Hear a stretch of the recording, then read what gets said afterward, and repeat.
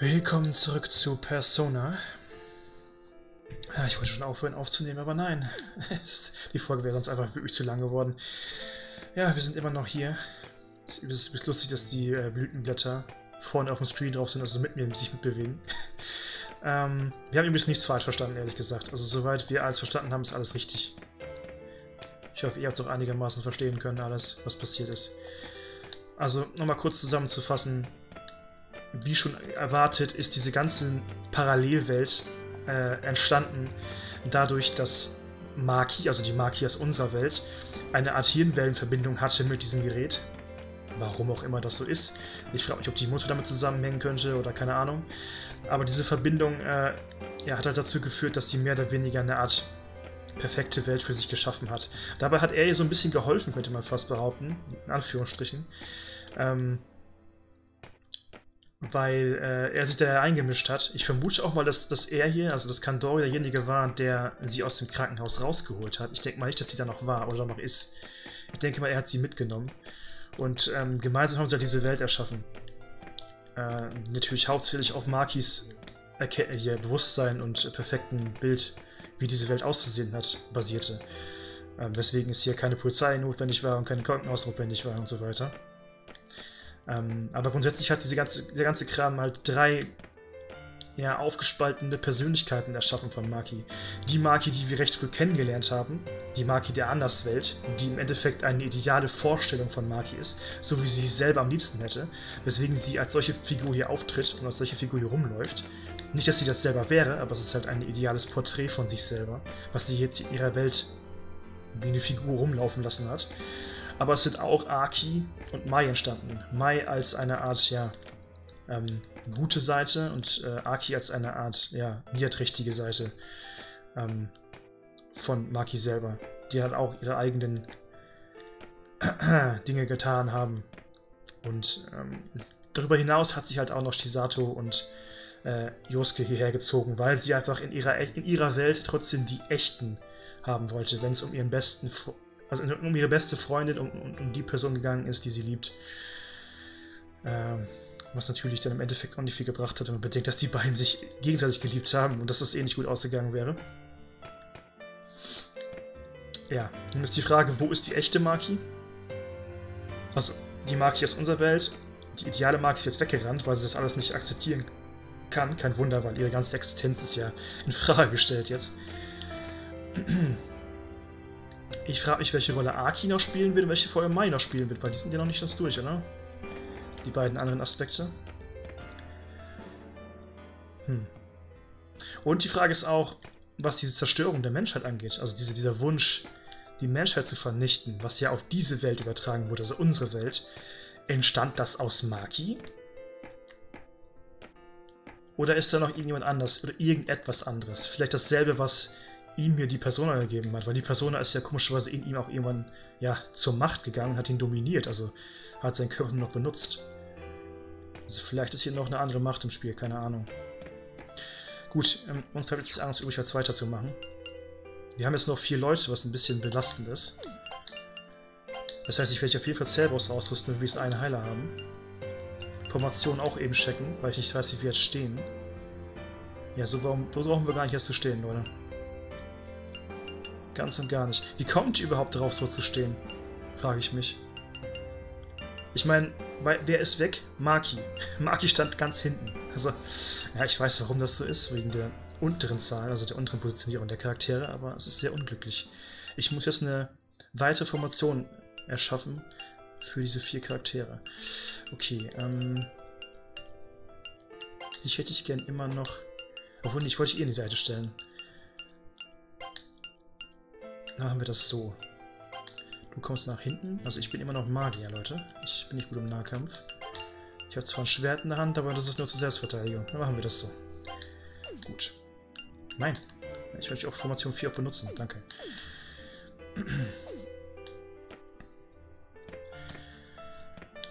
Ja, Kandori ist wie gesagt Entwickler der Maschine hier gewesen, ne? zusammen mit der Mutter. Und der hat anscheinend irgendwie erkannt und rausgefunden, dass die beiden eine Verbindung miteinander haben und dass man das ausnutzen könnte und dass er es ausnutzen konnte. Aber das kann nicht alles gewesen sein. Ich glaube, er konnte uns nicht alles sagen, bevor er gestorben ist. Weil diesen ganzen... Ge also, woher kommt dieser Gedanke, das zu tun? Alles auszulöschen. Meint ihr, das kommt von Maki? Ich kann ich mir nicht vorstellen. Also außer Maki hat eine ganz, ganz dunkle Seite in sich. Und Aki ist viel schlimmer, als ich denke. Oder es gibt noch eine viel schlimmere Seite. Keine Ahnung. Aber mal schauen. Wir müssen einfach mal weitermachen. Dann kriegen wir es bestimmt auch bald genug raus. Wo sollen wir jetzt überhaupt hin? Ich überlege gerade ein bisschen innerlich.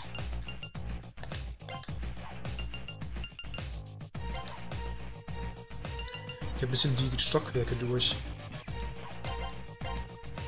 Hatten wir nicht recht am Anfang, noch der Folge, wo ich am Anfang das Mikro nicht drin hatte, oder dran, ich hatte es drin, OBS das Mikro nicht erkannt hat, war da nicht noch ein Raum, den wir nicht öffnen konnten, wo, wo sie meinte, da ist auf keinen Fall ähm, Kandori drin?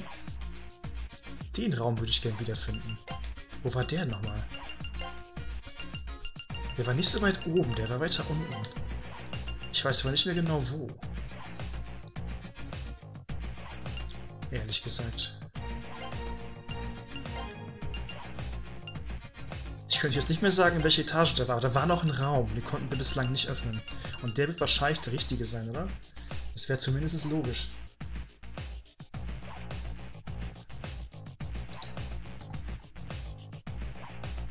kurz eingestellt. So. Ah, ja, gut, erstmal irgendwie runter hier. Ein Safe-Raum wäre auch geil. Ich konnte mich noch nicht saven nach dem Bossfight, ne? Das dürfen wir nicht vergessen. Ich müsste jetzt aber eigentlich stark genug sein. Ich hoffe. Ja, gut, das Dumme ist, jetzt wo Maki nicht mehr im Team ist, ist unser Level auch wieder geringer, unser Durchschnittslevel. Das ist verdammt ungünstig. Bei euch war es... Ich habe vergessen mittlerweile. Sarkasmus. Anscheinend nicht. Oh, das wirkt gerade einfach nicht.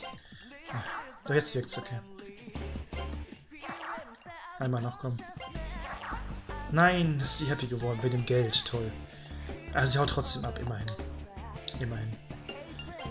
Und die waren anstarren. Ich habe nicht, dass ich 43er schon rekrutieren kann, aber ich versuch's mal. Doch, 43er geht auch schon. Okay, das ist super.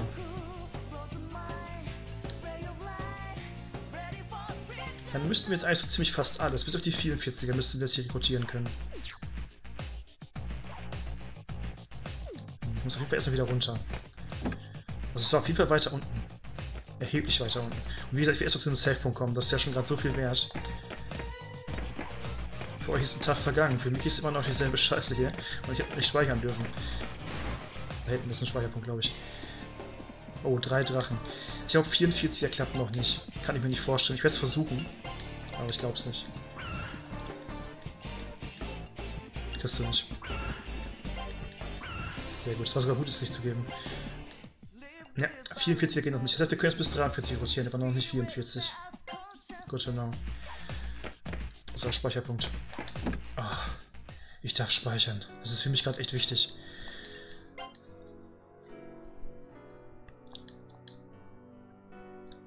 Ja, ich hoffe nur, dass den ganzen laienhaften Übersetzereien und komischen Storyentwicklungen hier ihr noch mitkommt. Im optimalen Fall habt ihr selber ein gewisses Grundverständnis für die Dinge, die Sprache und kriegt das selber ein bisschen mit. Ah, okay. Hier geht schon mal weg. Ich glaube, es ist immer noch Sarkasmus bei euch gewesen. Ja. Leistung kannst du haben, das ist okay. Oh, zu viele. Egal, ich kann auch hier abgeben. Was sind die denn? Soll ich mal beachten was die sind. Habe ich irgendwas doppelt, was ich nicht mehr brauche? Weiß ich gerade nicht. Ja, vorne habe ich zweimal. Dann kann Eligor weg. Ja, das ist okay. Eligor ist hier eh nicht mehr in dem Dungeon, also ist egal. Das geht klar. Scylla. Gut, ich gehe mal davon aus, ich speichere jetzt nochmal, weil ich gerade unsicher wieder war, wegen meinem Speicherungsvergessereien. Ähm, wir, ich gehe mal davon aus, wir sollen jetzt in diesen Raum, wo wir runterfallen können, oder? Ich glaube immer noch, dass da eine Fallgruppe sein wird. Deswegen nehme ich den Raum jetzt auch. In der Hoffnung, dass das richtig ist. Ja, siehst du? Und das war der Raum, wo wir nicht rein konnten. siehst du? Das war nachher ein Shortcut also. Alles klar. What the fuck? Das könnte einige Fragen beantworten. Keine Ahnung, mal gucken.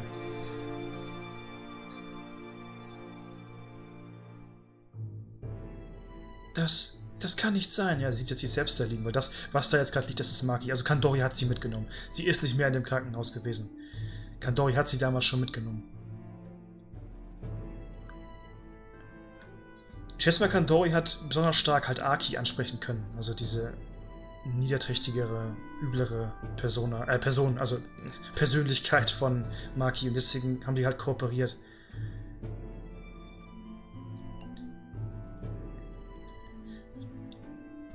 Du Idiot, warum hast du Daddy getötet?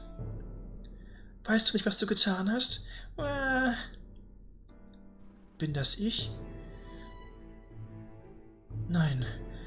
Habe ich alle leiden lassen? Naja gut, sie sieht das, versucht, sie sieht das vielleicht schuld darin, ne? Also man kann natürlich Schuld darin sehen. Maki ist natürlich irgendwo auch verantwortlich dafür, ne? Aber das ist ja das Problem. Würdest du eine Welt basieren lassen auf einer menschlichen Persönlichkeit, dann, ähm, und das kann dann auch noch andere Menschen beeinflussen, wie in diesem Fall. Oder die ganze Welt.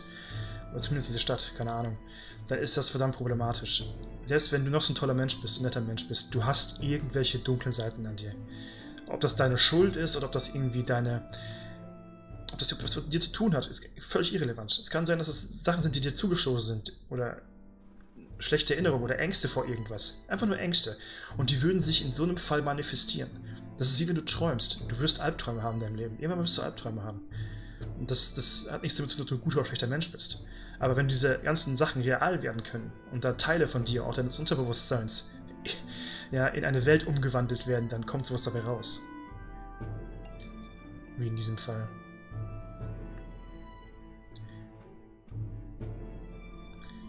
Du hast den einzigen getötet, auf die sich die echte Ich verlassen konnte. Niemand wird uns jetzt retten. Es ist alles vorbei. Drei? Drei von ihnen. Jesus Christus. Die sind alle Maki. Maki.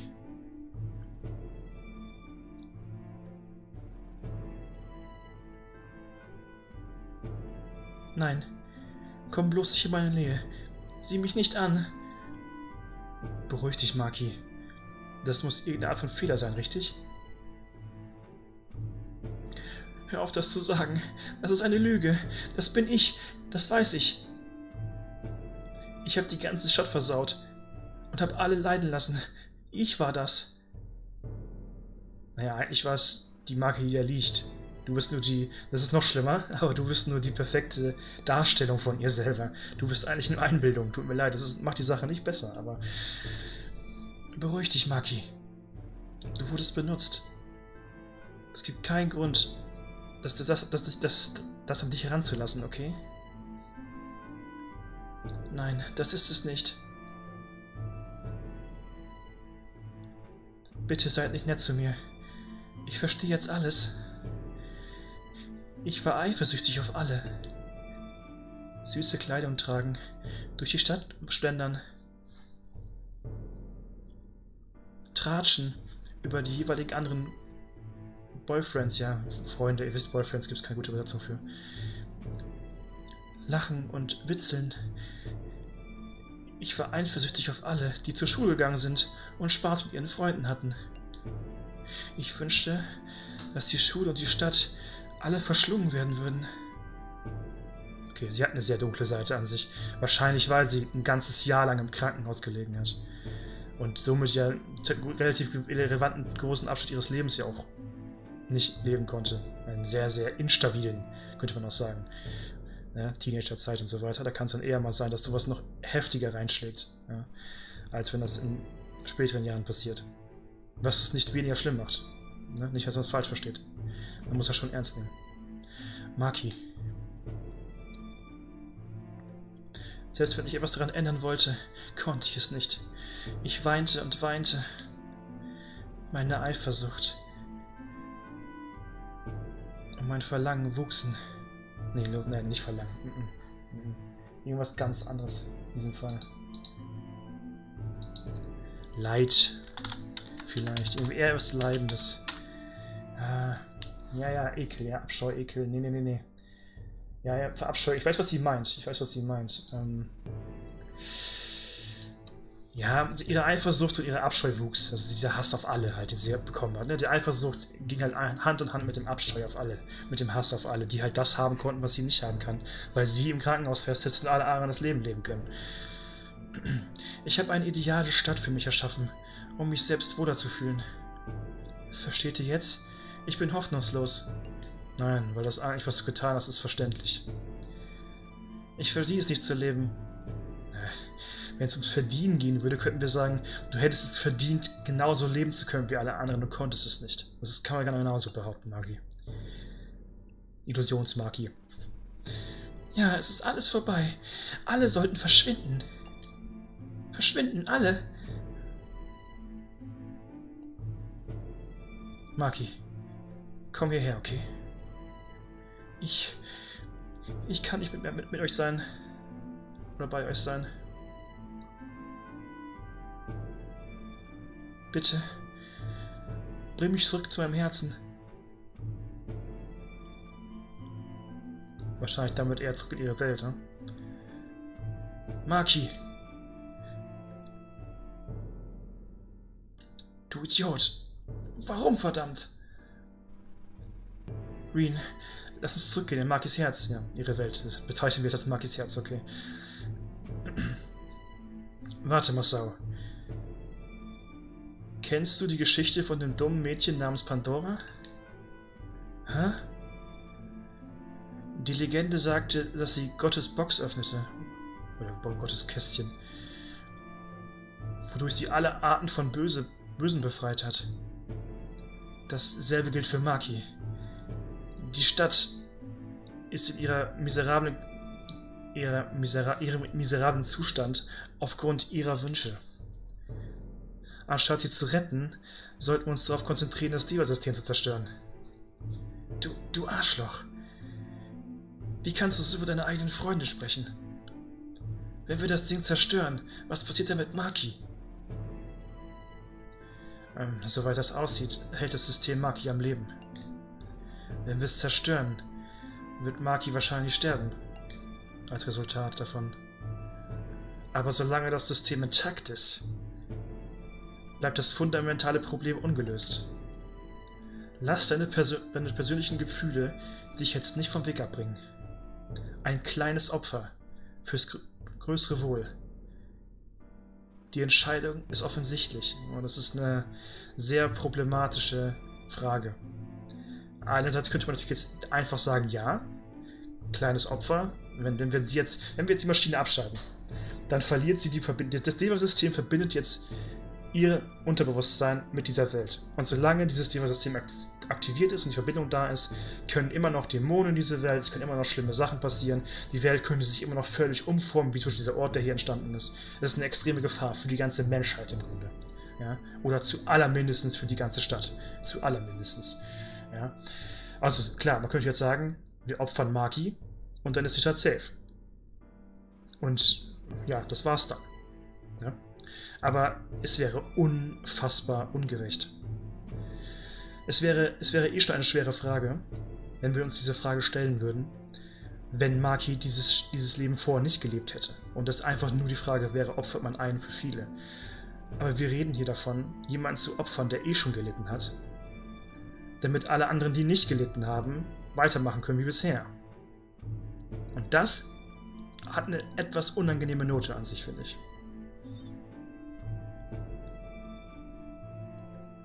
Hier ist die Frage, ob es nicht vielleicht sogar die leichtere Entscheidung ist, zu sagen, wir opfern eine Person für die Mehrheit.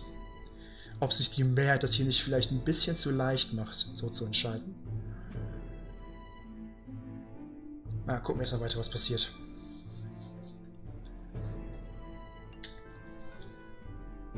Ich hoffe, du bist bereit hierfür.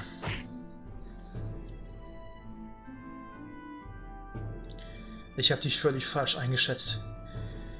Ich hätte nicht gedacht, dass du wirklich so kalt sein könntest. Vielleicht ist das, was du sagst, wahr. Es ist die Art von Logik, die ein Erwachsener wohl nutzen würde. Aber Junge, Maki ist vielleicht verantwortlich dafür, dass wir gelitten haben. Aber sie hat auch versucht, uns alle zu retten. Das stimmt natürlich, wenn man die ideale Version von Maki als Teil von ihr betrachtet. Ich glaube an Maki.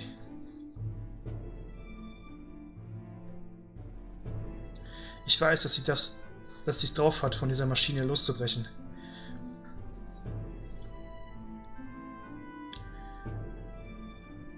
Ja, wir müssen Maki wissen, dass sie nicht alleine ist.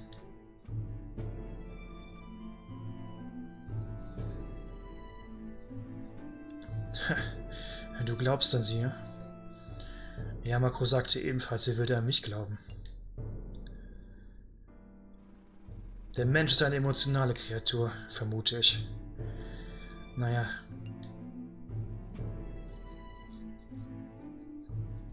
Ich weiß das deutsche Sprichwort sogar, liegt auf der Zunge. We split hairs. Äh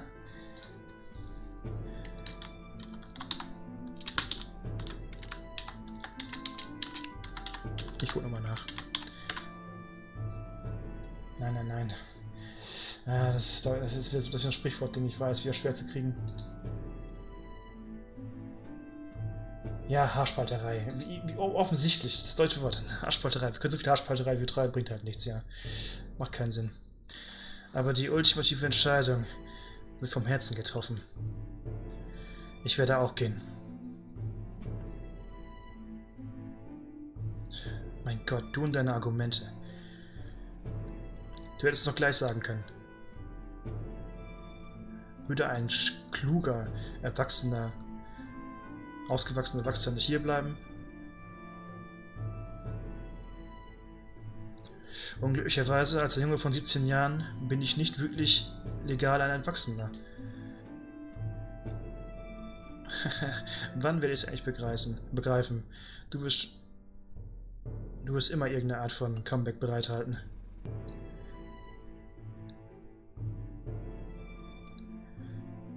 Gute Taten sollten schnell getan werden. Lass uns zurück in Makis Seele gehen. Sohle. Machen wir den Schuh auf. Hm, riecht nach Käse. Äh, was zur... Etwas ist im Spiegel.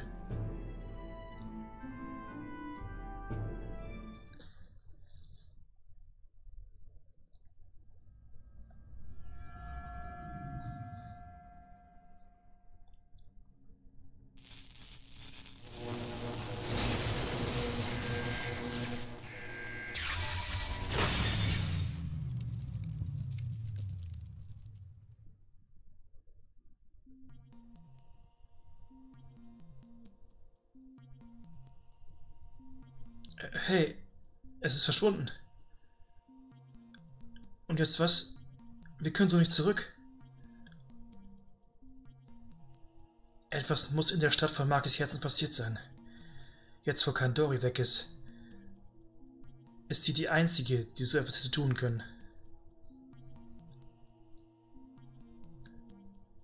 Mark, wenn wir einen, einen Wunsch äußern an Kandori-Spiegel, können wir dann nicht zurück in die Stadt? Oh ja, das könnten wir noch tun, nicht wahr?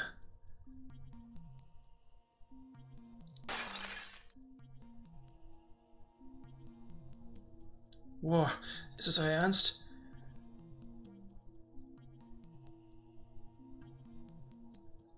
Widersteht Maki uns etwa? So scheint es für mich. Den Anschein hat es für mich. Verdammt. Was sollen wir nur tun? Hm?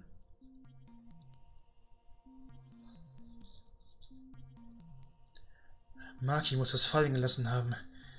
Aber es wird uns jetzt auch nicht mehr viel bringen.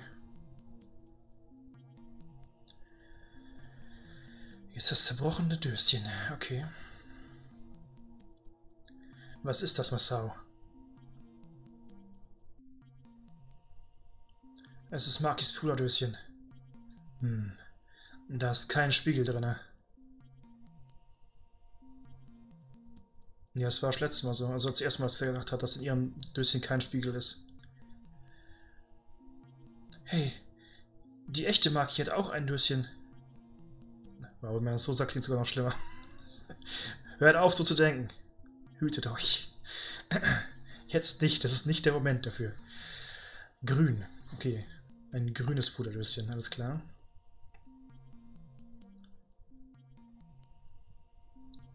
Lass dich mal sehen. Das, das, Dös, das Bruderdöschen der echten Maki und das der idealen Maki. Das echte hat einen Spiegel. Hm. Gib mal her, Nanjo. Bitte, schick uns zurück zu Makis Herzen.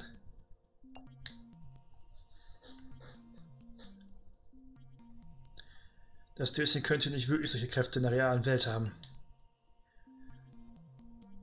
Wenn nur das Döschen der idealen Maki komplett wäre, dann vielleicht. Da können wir nicht vielleicht ein Stück von dem Spiegel da einsetzen, der gerade zerbrochen ist. Da sind noch Stücke dran. Ja, Moment, da sind doch noch Stücke dran. Da liegt ein Teddy. Oh, da liegt auch was auf dem Boden. Ah, da ist ein Shard of the Chaos Mirror, okay. Ich habe eine Scherbe des, des Chaos-Spiegels gefunden. Liegt auf dem Flur. Auf dem Boden. Pick it up. No. Kurz warten. Kann ich das mit dem Teddy machen? Der ist gruselig. Ja. Die echte Maki wird nicht aufwachen.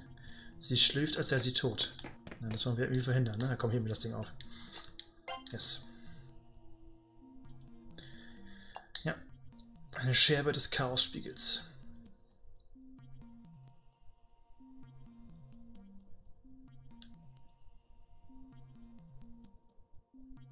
Reen? Ist das eine Scherbe von Gandoris Spiegel? Die Größe und die Form. Ich glaube, es könnte in Markis Döschen passen. In Markis Puderdöschen wohlgemerkt. Verdammt nochmal. Äh, ernsthaft? Vielleicht können wir das benutzen, um zurückzugehen. Lass ich mal sehen, Reen. Es passt perfekt. Ist wahrscheinlich auch kein Zufall. Wow.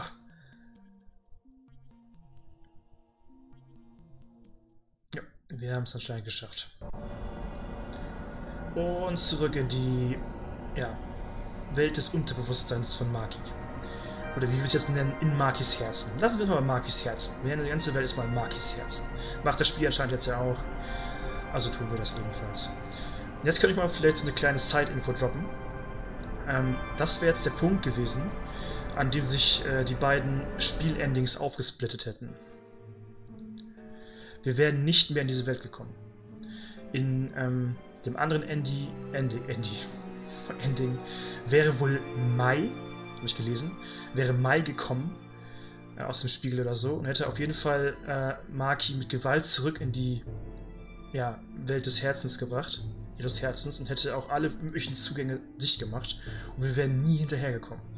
Das heißt, das Ending ist wirklich irgendwie ein Bad Ending. Du hättest zwar irgendwie die Welt gerettet, aber für Maki wäre das definitiv Game Over gewesen. Ja, also sie wäre dann nicht mehr zu retten gewesen.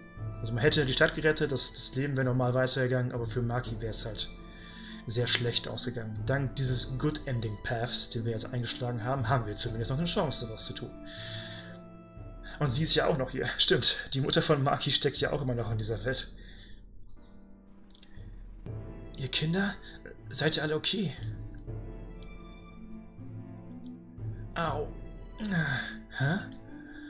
Ich verstehe schon. Das Buddha-Düsen hat uns hierher gebracht. Ja, das hat perfekt gepasst, okay. Der zerbrochene, das weiche Döschen ist zum roten Döschen geworden. Dann haben wir jetzt ein grünes und ein rotes Döschen. Okay. Müssen wir jetzt verschiedenfarbige Döschen sammeln. Äh, wo sind wir?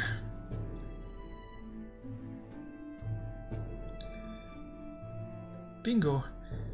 Das ist der Ball von dem kind, kindgleichen Maki. Oder von der kindgleichen Maki. Ja, genau zu sein von Mai. Das war Maiswald. Warum seid ihr alle her zurückgekommen? Was ist mit Kandori? Das gleiche gilt für dich, Lady. Warum bist du hier? Ich weiß es nicht wirklich. Nachdem ich euch alle transportiert habe, dachte ich, dass ich Makis Voice abermals höre. Und als ich zu mir kam, war ich hier. Aber warum seid ihr alle zurück? Erlaube es mir zu erklären. Du solltest die Wahrheit wissen. Jetzt wird er uns eh alles erklären, was wir bereits wissen. Was ich natürlich noch nicht wissen kann. Nein, das kann nicht sein. Was ist mit Maki? Was wird mit ihr passieren? Werden wir sie einfach in Ruhe lassen? wird sie den Rest ihres Lebens so bleiben. Oder halt schlimmer. Ja, entweder sie wird halt ewig in diesem Körper gefangen sein, also im Koma liegen, oder sie wird halt direkt sterben. Ne? Nein, kannst nicht etwas tun. Meine Maki. Ganz ruhig, Lady. Deswegen sind wir zurückgekehrt. Keine Sorge. Wir werden Maki sicherlich nicht im Stich lassen. Danke euch allen.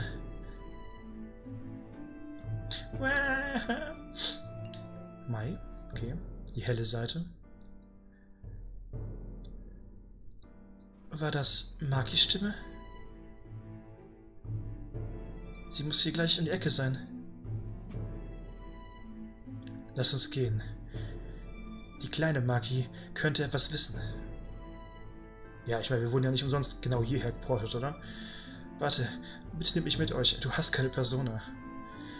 Du musst aber vorsichtig sein. Wie ich muss ich beschützen aus so einem Müll. Sie ist meine Tochter. Ich kann sie nicht einfach so leiden lassen. Nun, wie auch immer, dieser Wald ist gefährlich. Dein Überleben ist alles, alles andere als, als gesichert.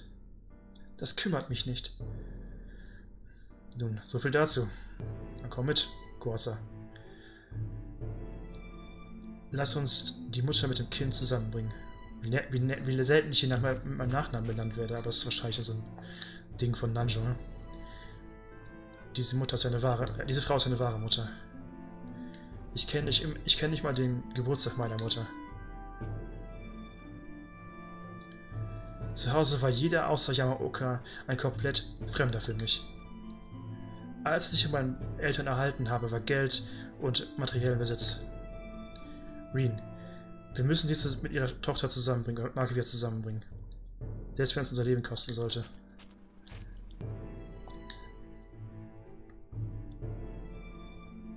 Reen, ist es seltsam, mich so reden zu hören?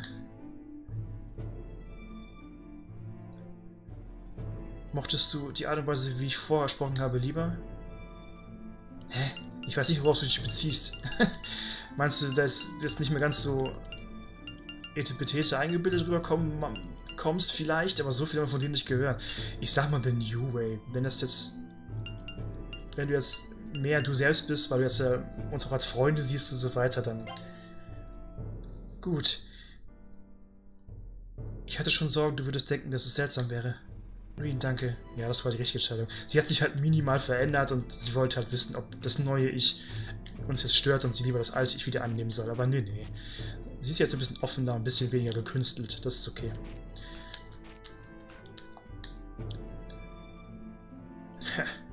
sie ist echt eine super Mom. Gut aussehen tut sie auch.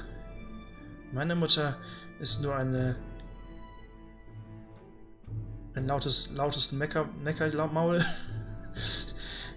äh, keine Ahnung, aber sie ist auf jeden Fall äh, eine laute Nervensäge.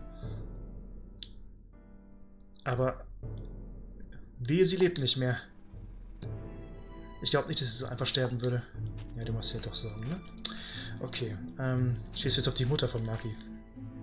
Willst du nicht mehr Maki, willst du jetzt die Mutter? Okay. Dann kannst du ja Makis neuer Papa werden, Mark. Jetzt kommen wir zu den strangen Momenten. Okay, ähm... Ah. Darf ich mal saven oder so? Im Wald war ein Savepoint. Okay, der Wald sieht jetzt noch so aus wie letztes Mal. Das heißt, da hinten ist ein Savepoint. Dann gehe ich als erstes dahin. Keine neuen Gegner. Das Nervige ist aber... Kann ich vor den wegrennen, bitte? Ich teste es mal, aber... Ja, gut. Das Nervige Gegnern ist jetzt, ich habe keine Lust, die ganzen Popelgegner hier zu rekrutieren. Ah, warte mal. Ja. Ja, deswegen hat man ja auch gewisse Zauber, ne? Nicht vergessen. Rod of Weak Foes, ja. So. Unser Superschutz ist aktiviert. Und weiter geht's. Und hier war ein Speicherpunkt. Super. Klasse. Klasse Terrasse. Gut. Ich glaube, ich würde die Folge jetzt hier mal ein bisschen früher werden. Die letzte war ja schon sehr lang. Ähm, die ist ein bisschen kürzer jetzt. Das ist gar nicht mal im Einverständnis aller Beteiligten. Ich kann aber nicht aufhören, heute aufzunehmen. Das waren jetzt viele Folgen am Stück. Vor allem viel Zeit am Stück. Äh, gut, dann machen wir jetzt mal weiter. Versuchen hier Mai zu finden, ob sie uns irgendwie Aufklärung geben kann, wo jetzt die ideale Version von Maki hin ist. Weil wir irgendwie versuchen wollen, sie hier rauszuholen. Ne? Ich meine, Kandori meinte ja auch sowas, wir sollen sie davor retten vor demselben Schicksal. Dass ihr nicht dasselbe Schicksal leidet wird wie ihm. Könnte es vielleicht sein, dass er damit. Er hat ja nicht mehr viel sagen können, ne? Hat er vielleicht gemeint, dass irgendwie da auch noch eine Art Dämon oder Persona hinter, also Persona-artige Konstrukt hintersteht vielleicht? Weil er wurde am Ende ja auch völlig, seine Lehre wurde ja auch ausgefüllt von dieser Kreatur am Ende, ne? Die hat ihn ja auch umgewandelt. Keine Ahnung. Aber vielleicht ist es auch ein bisschen zu weit gedacht. Wir sehen uns auf jeden Fall beim nächsten Mal wieder. Ich danke fürs Zusehen. Bye, bye.